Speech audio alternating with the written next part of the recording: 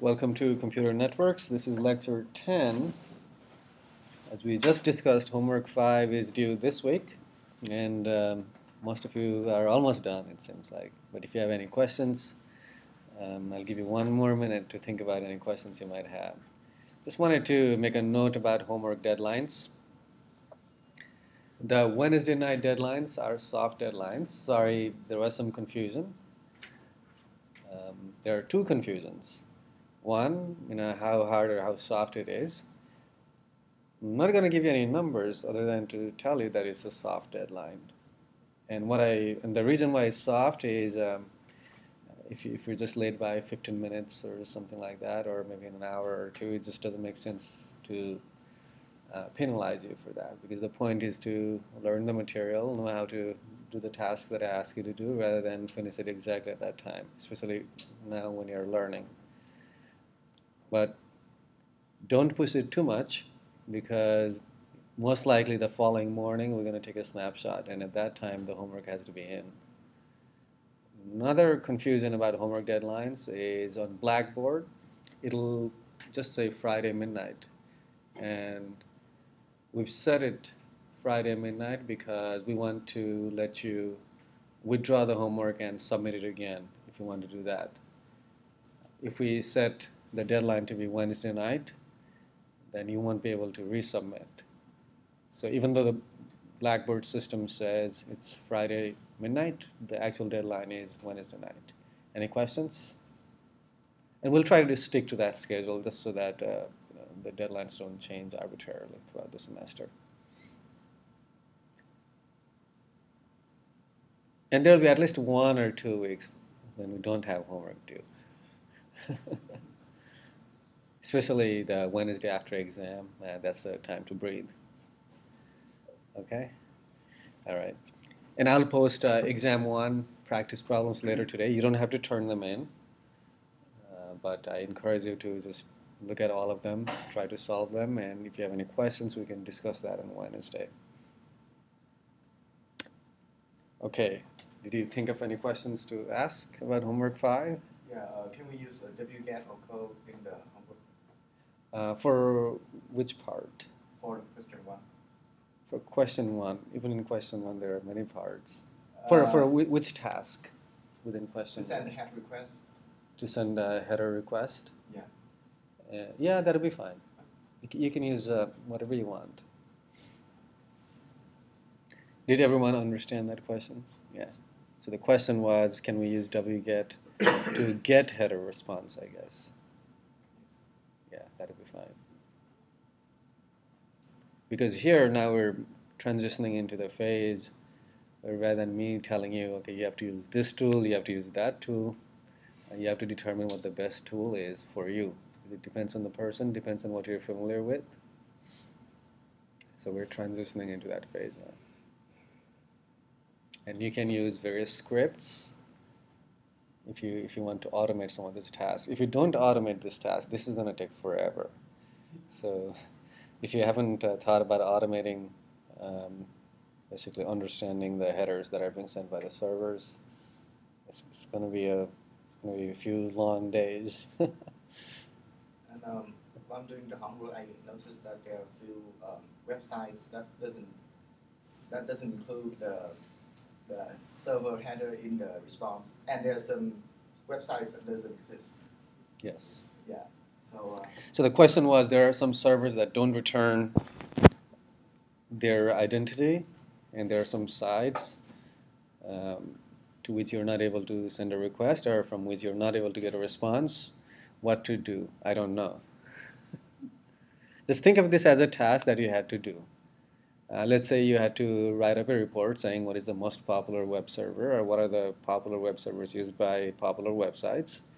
Uh, you have to make a judgment and uh, the servers that don't return the identity that could be because maybe it's a custom server that they built in-house.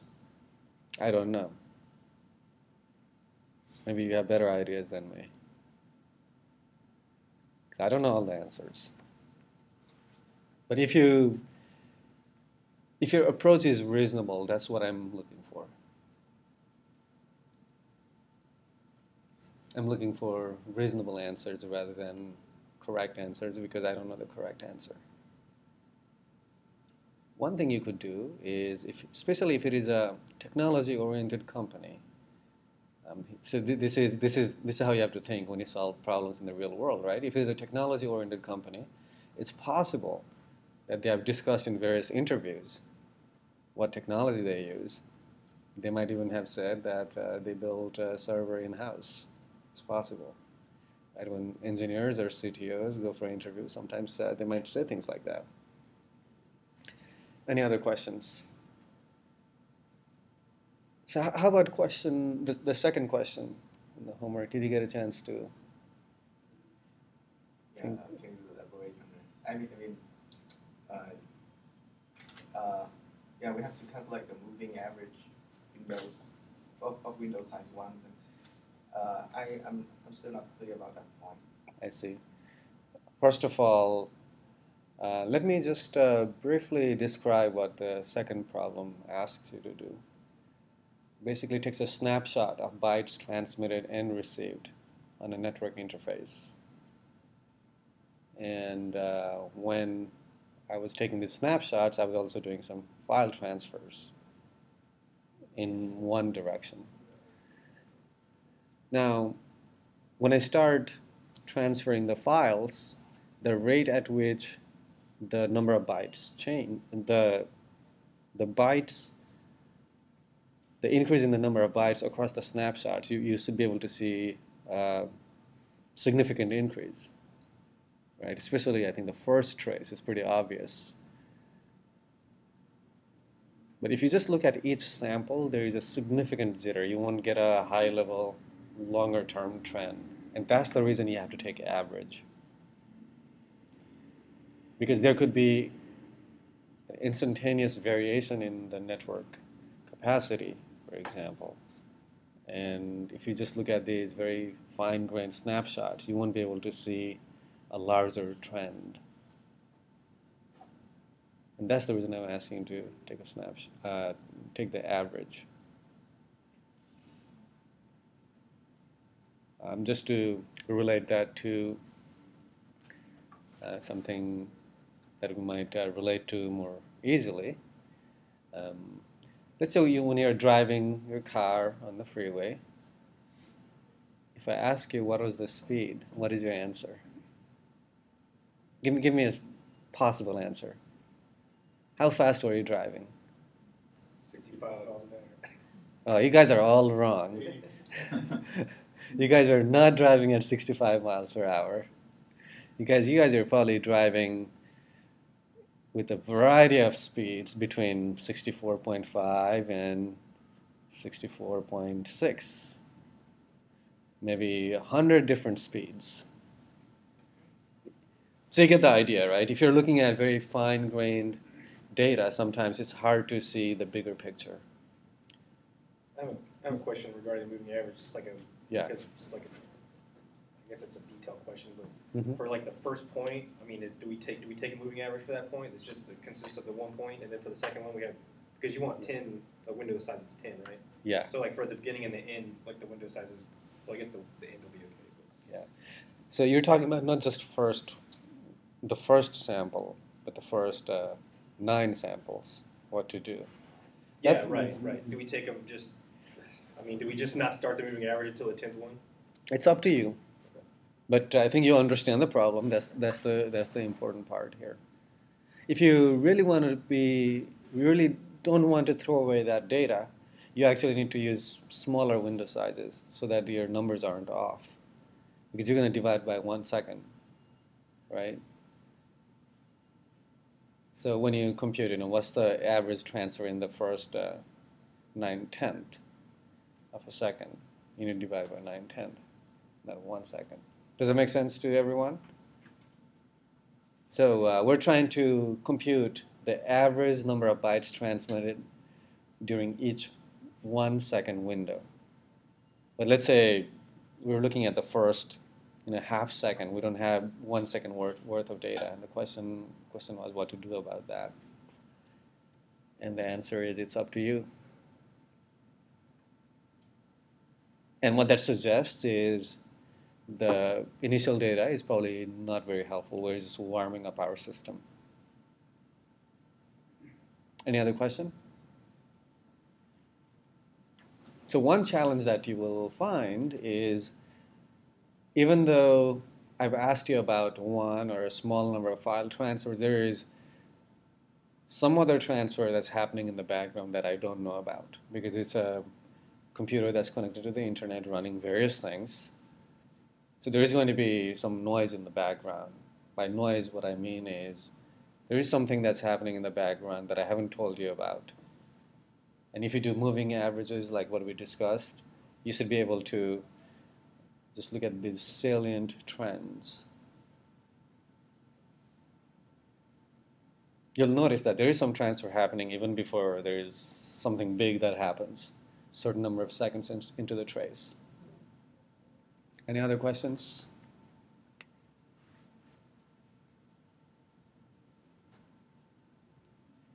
Yeah, I, I would say spend some time thinking about automation because I will ask you to do similarly large number of mundane tasks in future assignments as well.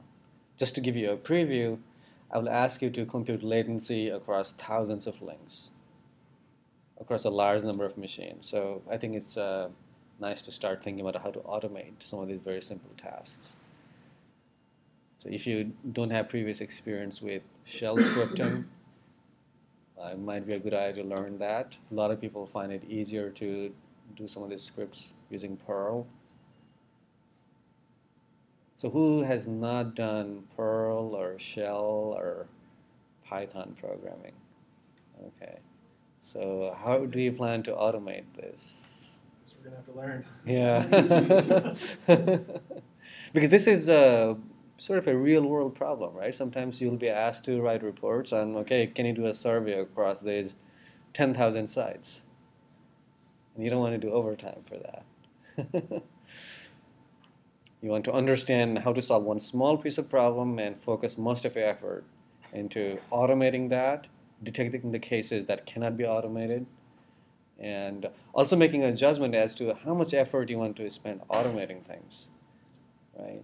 So let's say your automation script does not handle these two cases.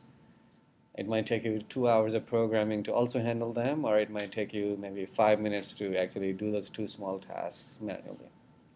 All right, so if you have more questions, uh, please uh, post them on the discussion board. And uh, please, you know, help each other about uh, um, some of these homework assignments. All right, so um, let's uh, get going with transfer protocols. We've been talking about TCP for a few lectures, and uh, we're going to conclude our discussion in the next lecture, actually. We're going to focus on two ideas today. One is called TCP friendliness, and another is not just thinking about the end host, that's what we've been doing so far, but also thinking about what is the role of network, if there is one uh, when we think about congestion control and congestion avoidance. First, a brief recap on how TCP works. Just want you to look at the diagram on the left.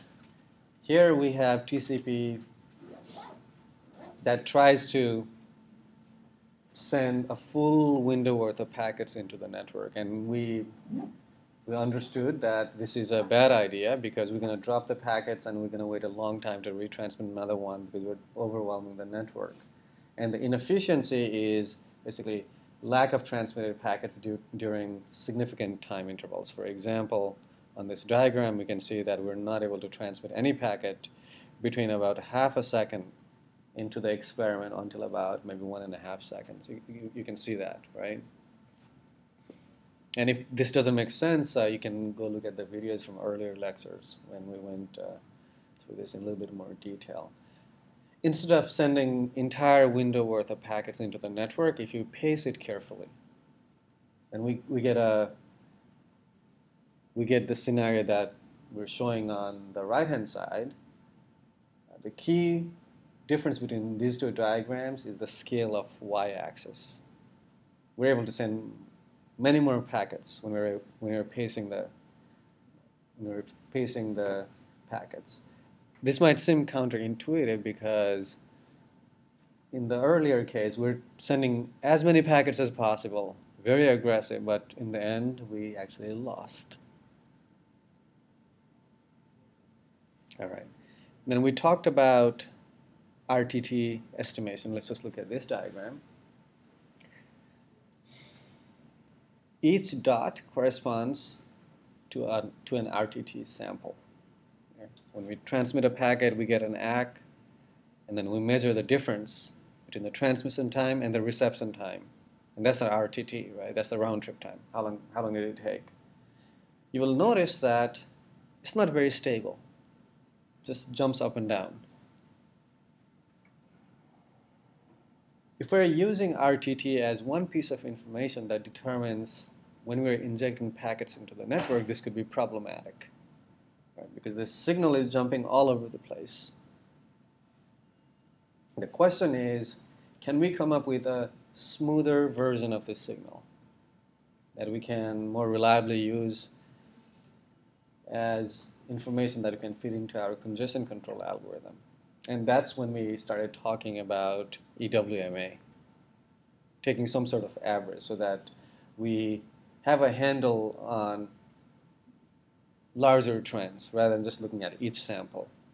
Uh, for example, if I just look at this diagram, if I asked you, what is the RTT around 55th packet? It's hard to answer.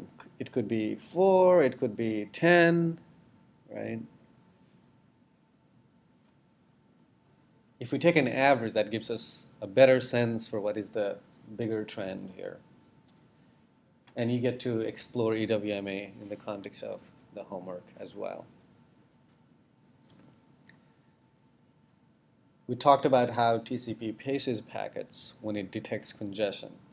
The way TCP detects congestion is by, how is congestion signaled? Any, any ideas? How does TCP know that network is congested? Uh, lost packets or timeout when trying to. Uh, Timeouts are also lost packets, right? Or lost ACK, yeah. right? So if you don't receive an ACK, TCP takes that as a signal that the network is congested. The old TCP used to do another slow start when it detects the congestion. And it's uh, inefficient because we're not using the network uh, to as much as we should, and uh, there was an optimization that we talked about. It's called fast retransmit. Rather than start at the bottom, we actually just have it and then start doing additive increase. Do people remember this or no? I haven't said anything new, right? Okay, then I will say something new. So let's explore this idea of TCP friendliness. Now we we learn, we, we know how TCP works, how it paces packets at various stages. In the beginning, when there's a congestion, and when it's recovering from packet drops, right? In the internet,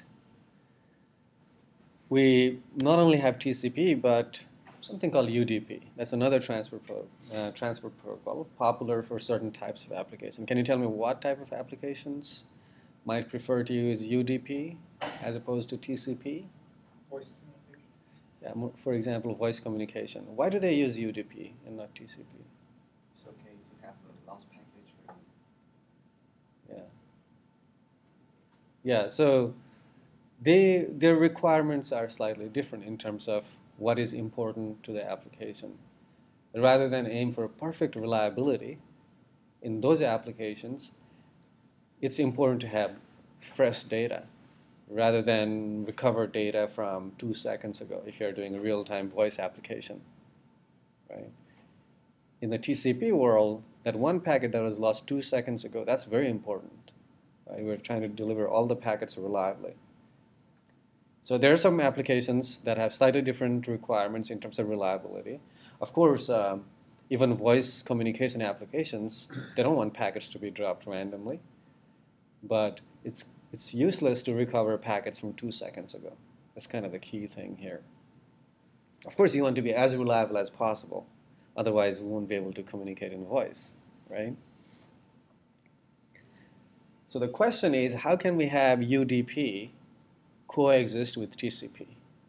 What is the potential problem? Why are we even talking about this? What's the main difference between TCP and UDP? TCP is guaranteed delivery. So that's one, guaranteed delivery. TCP guarantees delivery, UDP does not. So we talked about a lot of mechanisms about TCP. What are they geared towards? TCP is connection oriented. It's connection oriented. And also, why, why did we talk about all these mechanisms related to TCP? We talked about, we spent two or three lectures, right, talking about various mechanisms. But you know, why is that? Why is that important? It's not just for fun. Because we want, um, one of the reasons is because we want everyone to be able to use the internet, not just you know one person taking up all the bandwidth, right? So there is some notion of fairness, and we also want to be able to adapt to how the network is at a given time. That's that's that's another reason. Why is that important? Because we don't want to overwhelm the network. When the network is stressed, we want to reduce our rate, and when the network is able to deliver lots of packets, we, we want to send lots of packets, right? UDP does not have those mechanisms. In UDP, you just send the packet. It's very simple. It does not guarantee reliability. It's a best effort protocol.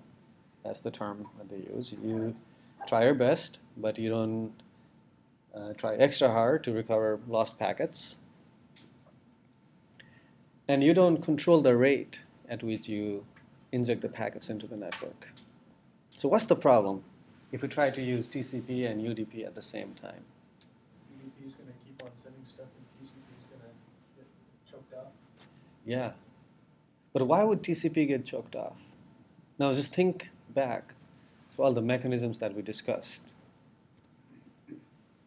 You should be able to explain that now. So let's say we have TCP and UDP sending packets at the same time. UDP does not paste its packets, or at least the way TCP does. So what happens at the routers or at the receiver, let's say? You get a ton of UDP packets and very few TCP packets. And what happens to the TCP packets coming in if you have tons of UDP packets? The router's buffer is full and just drop packets. Yeah. So we're going to drop a bunch of UDP packets and a bunch of TCP packets, right? So how does TCP respond when a bunch of TCP packets are dropped? What does TCP think? There's congestion. Congestion. And then what does TCP do? It slows it down. What does UDP do? Keeps going. It keeps going. And what happens uh, for the next round of TCP packets? They get. And then what? Do, how does TCP respond to that? Network congestion. operator Slowed down. It, it'll slow down further, right? So do, do you see the problem? It uh, shows it on the graph here as well. If we have number of flows and one is UDP, it's going to be very greedy.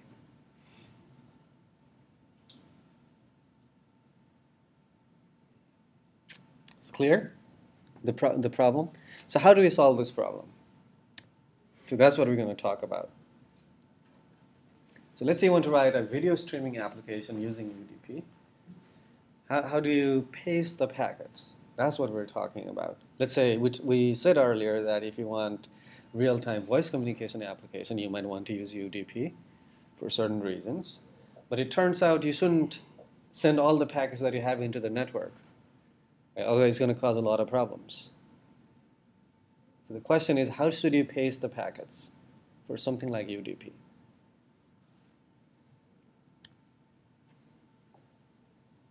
So this idea called equation-based congestion control is one way to tackle that problem.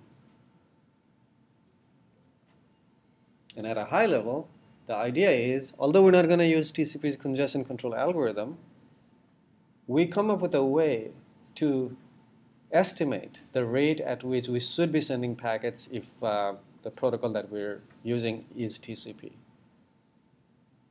And that's what the equation is all about. So you have this equation that tells you, okay, this is the rate at which I should be sending the packets into the network.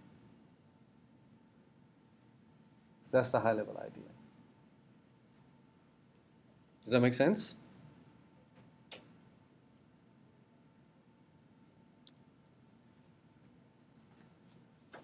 So we said the idea is we write this mathematical equation that captures the behavior of TCP so that even though we're not TCP, would behave as if we're TCP so that we don't starve all the TCP flows. If you think about how TCP adjusts its rate, what does that depend on? These three factors, right? We talked about loss. We talked about loss, how that impacts uh, the rate. How about RTT? How does RTT impact the rate of TCP? Well, if it takes too long to get, to get your request back, basically, then you're gonna time out, so it's gonna think the packet got lost. Yeah, so first of all, you might time out. Think about the rate at which TCP increases the sending rate. Let's say from, let's, let's focus on slow start. How quickly does it change the rate?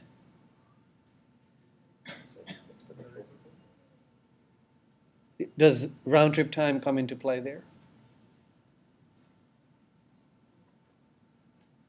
You increase the number of packets that you're sending when you receive an ACK. Right? Now round trip time determines when you receive an ACK. If it is a end-to-end link with a large RTT, you're going to wait a long time to increase the rate. How about MSS? What does MSS stand for? Maximum segment. How does that change the rate or number of bytes you're sending into the network? Let's say you have a small MSS, and let's think back slow start again. We're sending smaller packets, right? So that changes the rate at which, or the number of bytes we're sending into the network. So these are three main factors that determine the rate at which TCP sends packets. Now, if you write a mathematical equation to capture TCP's behavior, these three are going to be the primary variables in that equation.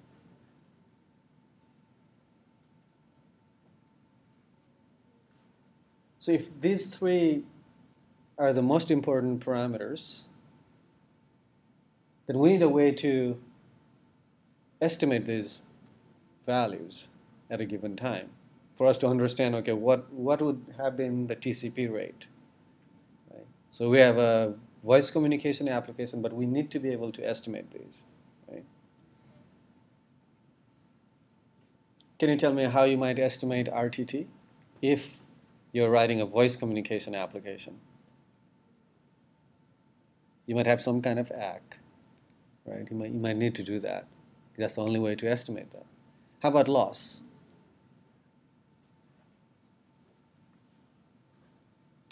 The receiver might give some feedback to the sender saying, okay, here's the current loss rate.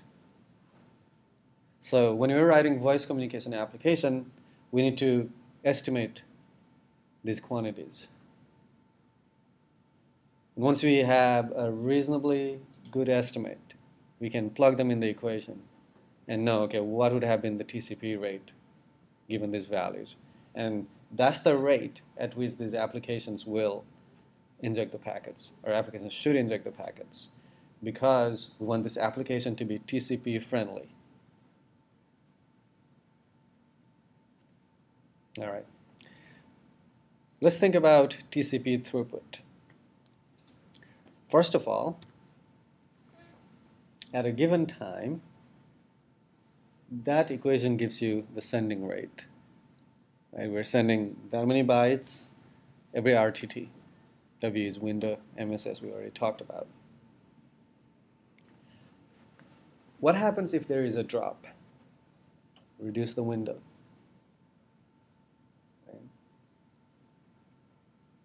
once we reduce the window in half, how quickly do we increase the window? We increase by, we said one every round trip. It's, it's not like slow start. Remember that, right? So what's the average rate in that case? So we have at the maximum, that sending rate. And at the minimum, we're talking about uh, stable state, exactly half of that. So it's about 0.75. That's the average rate. Does, any questions here? It's pretty straightforward, right? You have a window size of W, you decrease that at some point and continue to increase that linearly. And then once you hit the window size W, you cut that in half again. Why are we cutting it into half? Because we exceeded the capacity, and once you exceed the capacity, there will be at least one packet drop. And when there is one packet drop, the sender knows that there is one packet drop, you decrease the capacity into half, right?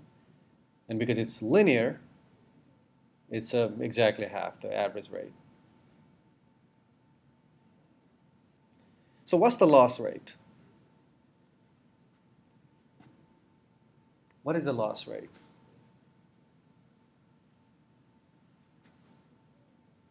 I'll give you the equation, but uh, you should at least uh, have an intuitive feel for how you might compu compute that. So we've lost one packet, right? Over how many packets? Because that is how we compute the loss rate. So can you tell me at least informally what is the loss rate? And I'll give you the equation. So we've lost one packet, and how many packets did we send? S times RTT. But that's just you know one. We don't go from W over two to W in one RTT, right? So let's say we've dropped a packet. We're at W over two, right? And we send that many packets, and then we increase the window to W over two plus one, right? And then we do plus one again. So every RTT we're increasing the window by one. So how many total packets? W. W is we're just sending W in one round trip, right? Yeah. Let's think about that. So, how many round trip time does it take for the rate to go from W over 2 to W? W over two. Right, because you're increasing one each time. So Yeah. So it takes at least now we agree that it's not one round trip time. No, It's, no. it's, it's certain large number of round trip times. Right. So right? you get from W over two to W, you have Mhm. to do it, if you're adding one each time, then you have to do it W over two times. Okay, so now we're going in the right direction. So it turns out that equation actually gives you precisely, you know, how many packets we sent when we increased our window from W over 2 to W, and then we lost one packet. We're assuming that uh, we detect that and then we decrease the rate. Um, no need to write it down because it's on the slide. You'll have the slides. So let's see what's going on.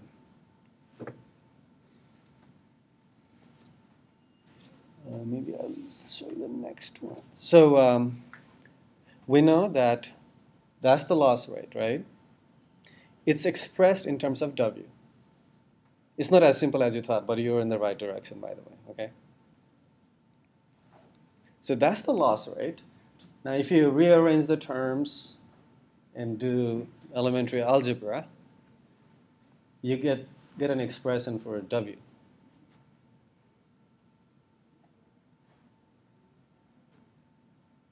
All right?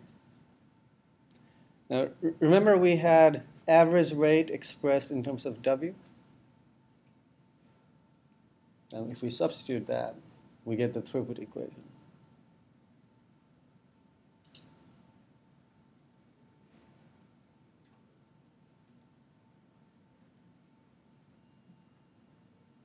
So do you get an intuition for how throughput equation is derived? Okay, good. So before we can use the throughput equation to determine the rate at which we should inject packets, we need to be able to plug in some numbers to those variables. But we already talked about how to estimate RTT, right? We already talked about how to estimate loss. There is a cooperation between the sender and the receiver. So if you plug them in, we'll, we'll find out you know, what is a TCP friendly rate at a given time. And the reason we're talking about TCP friendly rate is because we don't want our UDP flow to starve the rest of the TCP flows in the system.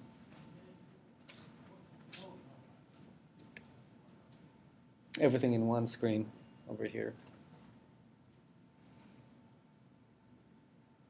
Okay. So if you look at that throughput equation, you will notice that throughput is inversely proportional to the square root of loss.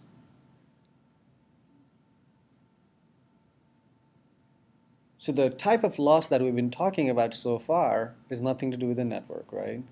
It's basically at the receiver. You know, when you drop a packet because the sender is trying to send too many packets, we're calling that a loss. But this also gives you an intuition for what what will happen if you run TCP over lossy links. Certain links are not very lossy, and some links are lossy. Can you give me an example of lossy links? What are they?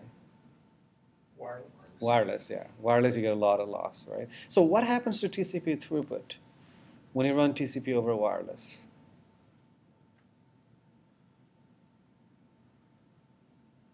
So this, this will tell, this you should be able to, because we're basically capturing how TCP works with this equation, right? So if you're running TCP over wireless links, what should you expect? Slow. Why is it slow? Then- Yeah, exactly. And we run TCP, right, over wireless. Most of the applications use TCP. So hopefully this will get, give you some insight as to what's happening. Um, I, did I miss a step? How did we get from loss rate to loss? Is loss just one over loss rate? Yeah.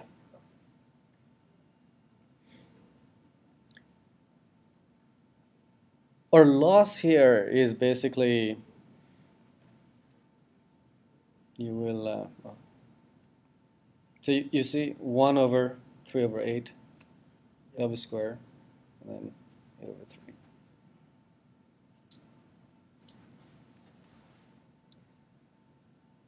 All right, any, any question? I think you should. Uh, it's not necessary for you to know how to derive these equations from first principles, even for the exam, because you have the. You know, if you think this is important, you just write it down. I don't want you to memorize it. Everyone knows that, right? You're allowed to uh, bring uh, one page of notes to the exam. This was announced on the first day, but it was a very crowded day. I, I can understand. Yeah, you're allowed to bring a page of notes to the exam, and if you, you know, why burden yourself learning how to derive this? But I want you to get an intuition for where some of these ideas are coming from and why. That's the point. So what happens to TCP throughput when we have different levels of loss? This is what I'm trying to show you in these diagrams. You can see that you achieve a higher rate, higher throughput. If you run TCP over links that are not very lossy. Another thing I expect you to totally understand at this point is why are we seeing this sawtooth behavior? Can you tell me why we're seeing this sawtooth behavior? It's pretty simple. It's elementary at this point, right? When you hit the limit of the network, you cut in half. basically. yeah, exactly. All right. Wouldn't it be smarter to like cut it in half? Yeah, so there are various uh, schemes that don't cut into half, and we'll talk very briefly one of those ideas in the next lecture. So TCP has gone through many, many revisions, and uh, There's a clear problem with this kind of uh, oscillation. We're not using the network uh, you know, in full capacity. Yeah. When you, let's say you do implement that, the application, that voice application over UDP, do you Mm. have to take into account, do you have to like Mhm. create that congestion control algorithm? Um, you're not required to, right? No, no one is saying, okay, we're not gonna install your app if you don't do that. But yeah, let's think about it. that's a that's a very important question. I mean, So what's like the incentive? Behavior or something? Yeah. So if you're very greedy, what should you do? Let's say you have a voice control application and you want to sell it to all of your users, saying, "Oh, it's really fast. You can do very high quality video." What should you do? You should just take all Just the send as much as you. Yeah. Yeah. Okay. So that's the you know obvious greedy behavior, right? Now let's say you have two of your users running this application. If you have that behavior, what's going to happen? It's not gonna work. You're gonna have a lot of loss. Even your own application, two instances of it, might run into trouble because they're just too aggressive, right? So it seems like even if you want to be very selfish, you shouldn't be too aggressive here. Do people understand that?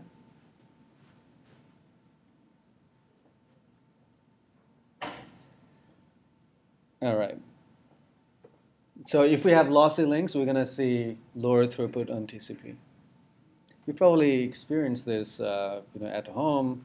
If you also have wired or option to have wired connection at home, you will see that you have uh, better throughput. Even though the access point is the same, the internet access, uh, internet service is the same. All right. So how can we solve this problem? That's what we're gonna talk about for maybe a minute. So we know that uh, when TCP sends too many packets beyond the capacity of the network, the right behavior is to send fewer packets. That's clear, right? We, we had some disagreement about uh, about you know how much you should lower the rate. Maybe half is maybe too much, right? But that's a minor point in my opinion. But I think there is an agreement that maybe you should slow down, right? What what's it, what is the right behavior if there is a packet drop because of channel, you know, loss? These are two different types of losses, right? One is we've exceeded the capacity. Another is we haven't exceeded the capacity, it's that the channel is very lossy. Do people understand the difference? This is an important distinction. Different type of loss. Does TCP know the difference? No, it just says, okay, I didn't receive an ACK, must be a congestion. Let me reduce the window into half. So, what do you think um, uh, should what, what should we do to TCP to handle this situation? If we don't do something, TCP is going to work really poorly over wireless because the capacity might be large, but uh, it's going to drop packets once in a while, or more often than wired networks, for example. So, what should we do to TCP? Make some kind of way to figure out what the cause was. Yeah, that's the bullet point down here. So one option is to tell the sender that okay, this is a loss, but this is not related to congestion. In which case, there is no reason to slow down. Right? Another approach or another possibility is to mask those losses, because remember these packets are being dropped for reasons that are unrelated to the capacity. So we can have lower layers of the stack. Actually, we retransmit the packet multiple times. Remember, we have not exceeded the capacity of the network, right? We retransmit the packet multiple times so that the packet is delivered reliably. Understand these two approaches? Which one is better? All right, something for you to think about. But let's uh, take a quick break, and we're gonna move on to some other topics. Still congestion control, but some other topics. All right.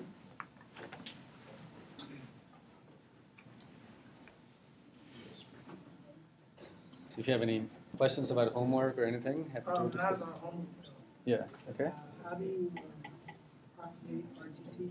How do you approximate RTT? Um, you can tell the receiver that I'm going to send you a packet. Well, I mean the equation, because. Yeah, yeah, I know. Oh, So you can send a packet to the receiver, but tell the receiver that bounce that packet as quickly as you can.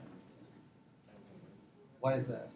Why do you want the receiver to bounce the packet as quickly? because you want to see how long it takes to get to, uh, the receiver.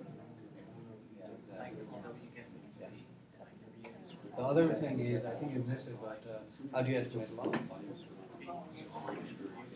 Yeah, because that's the, basically you can tell the receiver that, yeah, I'm going to send you 10 packets. Tell me how many you receive. That's one way. It's just like pinging, Yeah. you get a percent loss. Yeah. I thought round trip time was supposed to take into effect, uh, take into account the the congestion at the server as well. Uh, depends on exactly what you're trying to do. Because when you say bounce it back as fast as possible, that may not actually take into account like really the true round trip time if you're gonna continue accessing that service over and over and over. Yeah, yeah. So it, it depends on what you're trying to do with the round trip. If you want a really good round trip time, that sounds good. But is it real? is it- So if you're trying, if you're trying to understand the network round trip time, Okay. then let's say you're only interested in the delays on the links, then bounce as quickly as. If you're trying to understand how long it takes to Mine is for. um, do some meaningful work and get a response. For example, let's say if you want to understand how long it takes, uh, okay, let me rephrase that. If you want to understand what the user experience is like in terms of browsing, in that case, it makes sense to also take into account how long it takes for the server to process the request, generate a response, and send it. Everything that everybody. But if you just wait for network congestion, that's actually my life is. It's not a huge meaningful. And so, my, my main. It'd be a good way to figure out the server. Say that again? When you were saying like, um, trying to decipher like when some of these servers don't put the homework and they don't return what type of server they are, you can use the difference between the, like if you, if you could say the network congestion is consistent or Yeah. look at the when you take into effect. Yeah, yeah. take into account that. Yeah, yeah. Just compare it to the. Would that be safe to say, a safe assumption? Um, so basically you're trying to decide when to time out or? Um, if you send like, send like a large request to the server to make sure that it has to do something on it Yeah. and process it. Yeah. You could compare that round trip time to servers that you do know. So you're trying to find out what is the processing delay? Yeah. Yeah, you can do that. Because is that consistent across types of servers though? Uh, it might not be, that's the thing. Some of these things become very complex. Yeah. Or the high level, high level, yeah, high level idea might be the, might be very simple. And when you get down to it, especially if you want to, when you understand some of these issues very accurately. Is it okay if forward to you PHP scripts? Um, yeah, as long as you can run it on Binder. Are you a PHP programmer?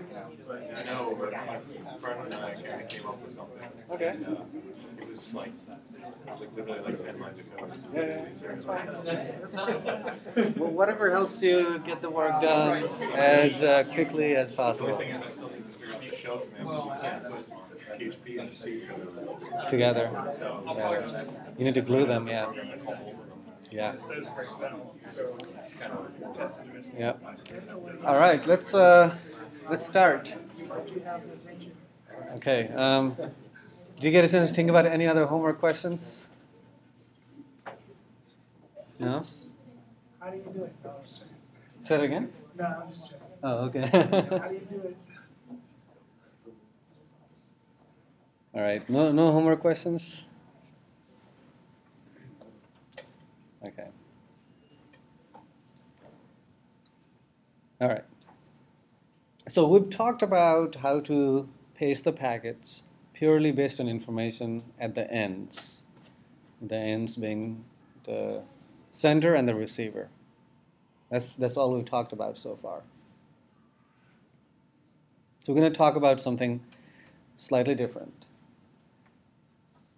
And there's another thing that we talked about, which is uh, how to respond to congestion after the congestion has already happened.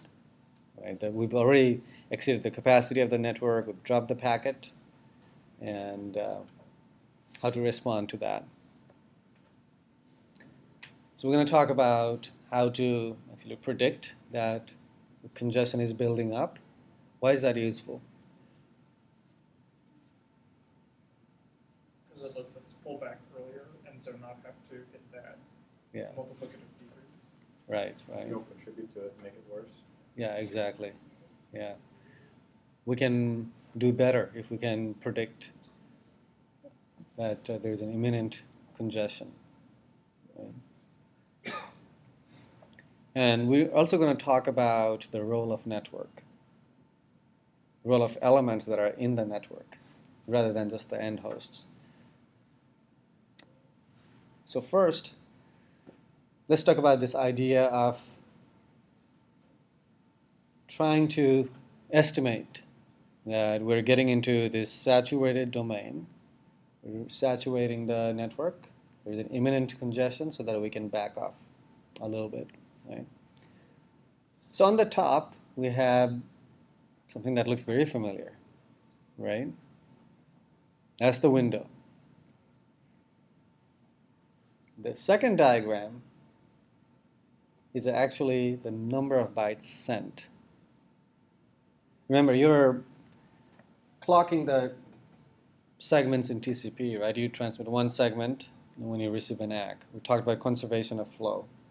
So what's uh, what's going on? The window is increasing. We said we increase the window every time we receive an ACK. It's an additive increase, right, in the stable regime.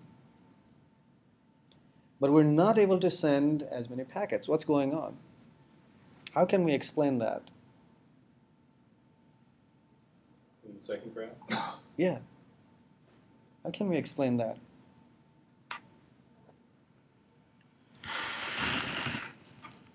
First of all, we understand the two graphs, right? One is window. We, we've already studied the algorithm. The second graph is the number of bytes we're actually able to send. Why are they different? So what does congestion window tell you? Okay, this is the maximum I'm allowed to send. But you're still sending the packets every time you receive a receive an ACK, right? So what's the what's the difference? It turns out we're not receiving ACKs fast enough, and that's why we're not able to send the packets fast enough, even though our congestion window tells us that we can send a lot more packets. Understand the difference? Why could that happen? The third diagram should explain that. So the third diagram is the queue size.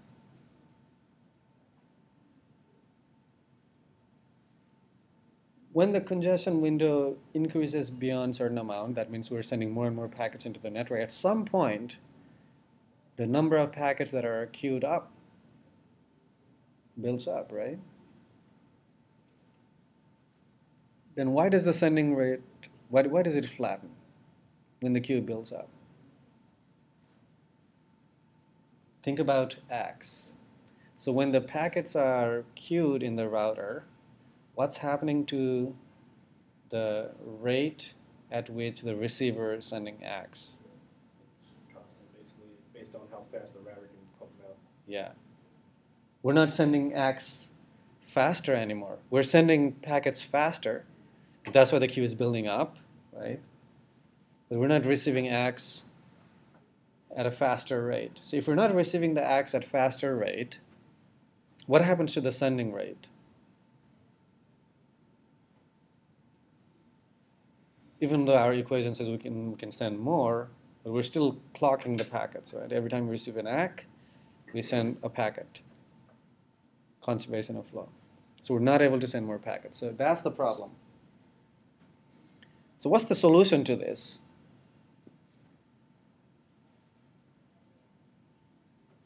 In a, in a regular TCP, what would happen? You would uh, eventually send enough packets to overflow the buffer, and you lose a packet, and eventually the signal will come back saying you lost a packet, and you'll have to reduce the rate. You could do something differently, right? You could compare the actual rate at which you're sending the packets and the expected rate. And what could you do based on that information? You can go back here. Do you see the difference between actual rate and expected rate? The middle diagram is the actual rate. It's not increasing as much. And at some point, the disparity between the expected rate and the actual rate grows. You know, if it grows beyond a certain threshold, what should you do? What's the right behavior when your sending rate starts flattening? Look at the router diagram as well. What should be the right behavior? Slow down. Decrease your window size. That's what you do. And what if um, your actual rate is smaller than the expected rate? Can that happen?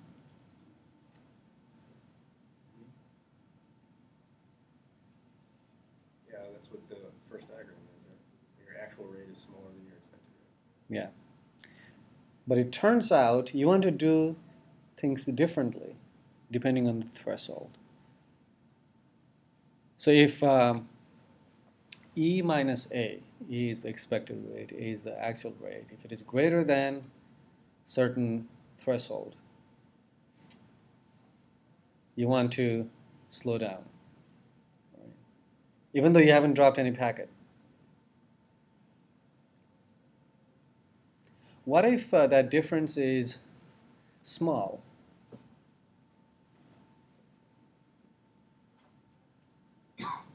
What if that difference is very small? It might be okay to increase the rate. Basically, you're trying to maintain that difference at a certain level. And as long as, as soon as that rate, uh, the disparity grows beyond certain threshold, you want to start decreasing again. So do you understand this particular way of pacing the packets compared to the standard TCP? The big difference is here we are trying to guess, okay, there is an imminent congestion. The queues are building up. The difference between expected rate and actual rate is growing. So we need to slow down. As opposed to standard TCP, we've already lost a packet. Turns out we're already congested.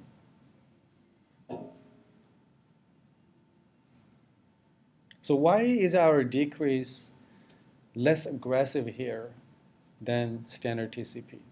It's less aggressive, right? What was TCP decrease? Multiplicative. We reduced it by half. Here it is, could be even be linear. Why, why is it less aggressive? And why is that okay? Because you're not actually hitting a window size where you're gonna lose packets. Yes. You don't wanna decrease it too much, because you haven't lost anything. Right. So you haven't uh, hit the limit yet. So you actually are able to gracefully decrease that.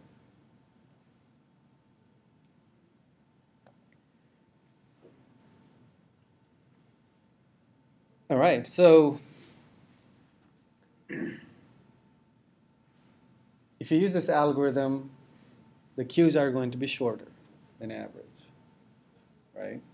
It's going to be shorter than uh, using standard TCP. Do we, do we see why? Because we're not letting the, the disparity grow too much. We're decreasing the rate even before we hit the limit. There is lower jitter. Why is there lower jitter? So not always cutting the, the rate in half. Yeah, exactly. So we're not always cutting the rate in half, so it's smoother. But it does not compete well with Reno. Why is that? So let's say we wanted to run this algorithm in the same network. We also have the earlier TCP that we talked about. How, how would they interact? So let's imagine we have two clients using the same network. The The first one uses the standard algorithm that we talked about earlier, which is keep on sending, and once the packet is dropped, reduce it in half. The second client is using this TCP Vegas algorithm, monitoring the actual rate and estimated rate and reducing the capacity even before you hit the limit. What will happen if you run these two clients together? The clue is right there. But it's your job to understand why. I guess the answer is right there too. Similar to the UDP problem, right? Yeah, Because the earlier algorithm is going to be a little bit more greedy. yeah. Because Vegas will decrease the rate at which it's sending packets, and that allows Reno to keep on sending the packets because the packets are not going to drop anymore. And how does Vegas perceive that? It says, okay, so the in, so the difference between estimated and actual rate is actually getting larger. So what, what is what is Vegas going to do? It's gonna throttle back some more, Yeah, and then Reno sees, hey, there's more bandwidth available. right. Exactly. Is it clear? Okay. So how do we solve that problem? So maybe if we make the network smarter, maybe we can solve that problem. We only have 10 minutes, so let's uh, think about how to make the network smarter.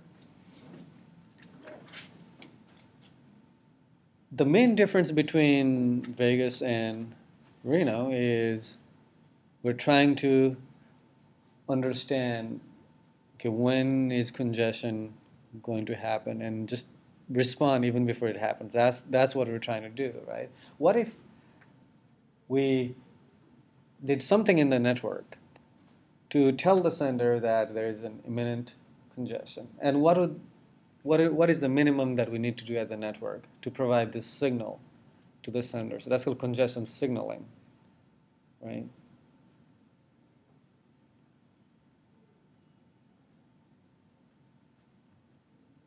So the routers, they can tell that there is an imminent congestion just by monitoring their queue sizes. Right? Just like um, what Vegas was doing. Sorry, Vegas was not doing that, but it was trying to indirectly measure that. Right? But the router actually have the most direct information, the queue size. They know exactly how many packets are there in the queue at a given time. So the idea is rather than wait for let's say standard TCP to wait until there is a packet drop, because when why does a packet drop happen? There is not enough room in the queue. Rather than wait until that time, have the router give some feedback to the sender. The routers are the elements in the network. Give some feedback to the sender so that they can respond to it. So this is an approach that requires some cooperation from the network as opposed to Vegas. Does it require some cooperation from the network? No, because you're measuring the queues building up indirectly.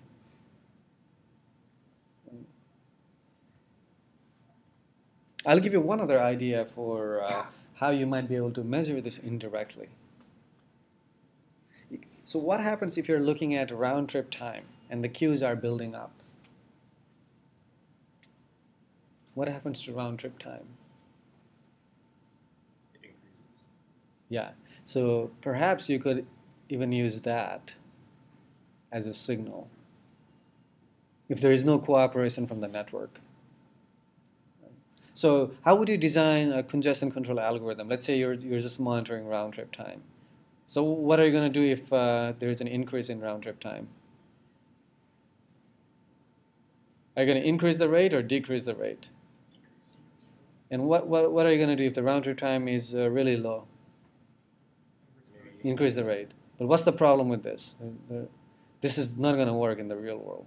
You can get fooled by other applications. Yeah, there could be many other reasons why the round trip time changes like that, right? But it's probably not worthless information. Perhaps you could use that information in combination with uh, other information to do some something even smarter. So, anyways, getting back to the network helping in congestion control. So the idea is the router will tell the sender about any imminent congestion. That's the idea. All right. It's called random early detection. Oh, by the way, I assigned some readings. Uh, you might want to just go take a look at that to uh, understand these mechanisms in a little bit more detail. Unfortunately, I don't think the text textbook has has uh, some of these topics. That's very unfortunate. Anyway, so on this graph, we have queue length on y-axis and time on x-axis. And the black line tells you how long the queue is at a given time. Okay? So why, is it, why did it jump up and down like that? Because the packets are bursty. Think about HTTP. Let's say you wanted to plot the number of bytes being transmitted on y-axis and time on x-axis, and let's say you're on Facebook page. What would that graph look like? It'll probably just jump up and down. Why is that? Because you're not always requesting information. Yeah, exactly. It's not a long and constant file download, right? Okay. The blue line is the average. And you already know how to compute this type of average. Or, you will know by Wednesday. Okay? so even in the homework, you have a similar situation. So you have these signals that might be a little bit bursty, but if you want to get a high level trend, you might want to compute that average. So once you have that average, you can start thinking about, okay, there's an imminent congestion, there is not. And the way you're going to do that, if you want to use RED algorithm on the routers in the network, is by using a packet marking scheme that is probabilistic. Okay, so let's try to parse that. So first, I said packet marking. So TCP uses drops as a signal. So if you're operating in a regime where we haven't even hit the limit, it's not useful or it's, it's not a good idea to actually drop the packets to tell, the, to tell TCP to slow down. So instead we're going to mark the packets. And we're going to mark the packets with some probability. And this probability increases. That means you're going to get more and more packets with the, that are marked if we're cl uh, closer and closer to hitting the limit. And if we hit the limit, all the packets are going to be marked. So that's the probabilistic part. So this graph tells you the probability at which you should mark the packets. If the queue size is small, let's say up to some minimum threshold, we're not going to mark any packets. Marking probability is zero. If the queue size, just to be more precise, I should say average queue size, right? If the average queue size is between minimum threshold and maximum threshold, we're going to mark those packets with certain probability. And if the queue size exceeds, or average queue size exceeds maximum threshold, we're going to mark all the packets. So why are we talking about probability here? It has to do with the signaling bandwidth. One way to accomplish the signaling to the sender is just by saying, okay, here's the average queue size. Would that work? I think that would work, right? But why are we talking about these probabilities here? I'll give you a hint. Let's say you only have one bit of information. Let's say you have the ability to communicate using a single bit. How would you communicate that, okay, here's the average queue size? How would you do that?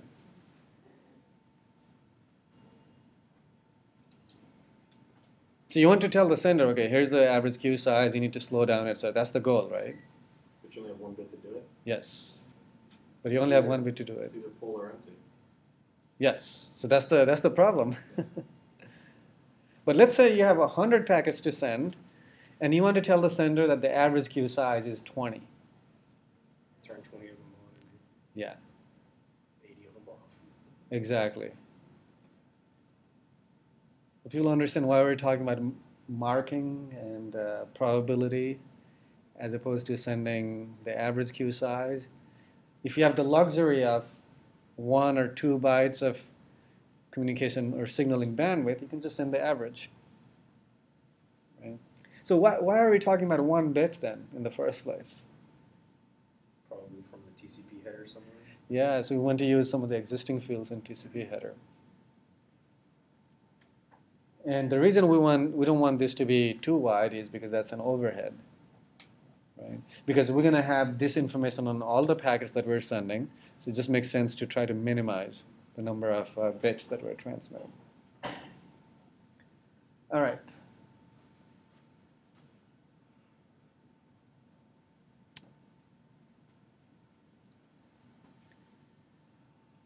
So if a flow is using a lot of capacity, more of its packets is going to be marked. And hopefully the sender uses that as a signal.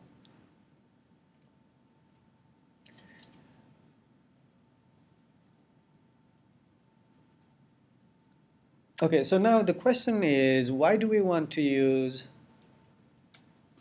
average and not instantaneous? Because then if you get something that just wants to dump a whole burst of packets and then it's done, Mm-hmm.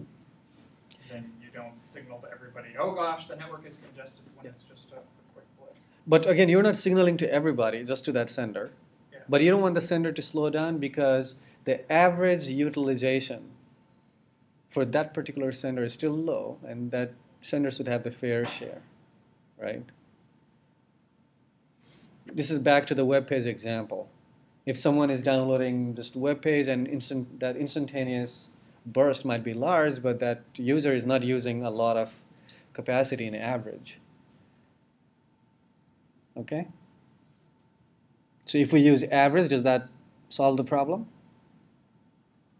The average will still be low, right? The instantaneous sample is large, but the average is small. Okay. All right, so finally, one last idea.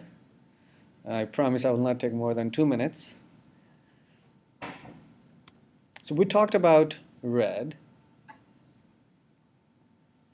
We're still relying on the sender to do the right thing. And what's the right thing in this case? Let's say a sender is receiving a lot of marked packets. Yeah. By the way, this marking could uh, be sent to the receiver or the sender, depending on exactly how you know we organize them. The key is marking, right? So we're we're relying on either the sender or the receiver to do the right thing. Uh, a receiver to do the right thing would be if the receiver receives a lot of data packet that's marked, it has to do something uh, when, or it has to signal the sender in a certain way. Or if the signal is directly going to the sender, the sender has to slow down. That's the right thing, right? So what if uh, they're not willing to do the right thing? We need to enforce something in the network, right? So the idea is um, we would use multiple queues in the network and we'll enforce the rate at which these queues are allowed to build up. All right? So here are some solutions. I will uh, describe one of these solutions in greater detail next time. But one solution is, uh, let's see if I have a diagram for that. Yeah, okay. So one solution is, we have, let's say, flow 1 and flow 2, right? And we queue those packets in separate queues, and then we're going to service one packet from each queue at a time. Does, does that make sense to everyone? So there are two clients, they're sending packets. So we're going to grab packet from first queue, transmit. We're going to grab packet from second queue, transmit. And we're going to go back to the first queue and transmit. What's the problem with that? So some applications might send large packets, and what happens? So we're not allocating the bandwidth fairly. So we're going to talk about how to make that more fair in the next lecture. All right?